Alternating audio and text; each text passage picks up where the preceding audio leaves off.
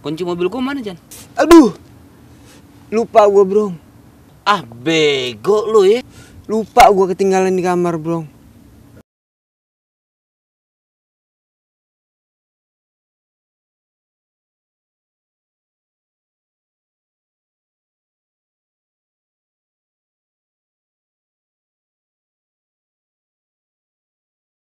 Aduh, bego banget sih lu, Jan. Ambil, ambil, ambil kan deh. Gimana bisa bawa mobil nggak ada kuncinya?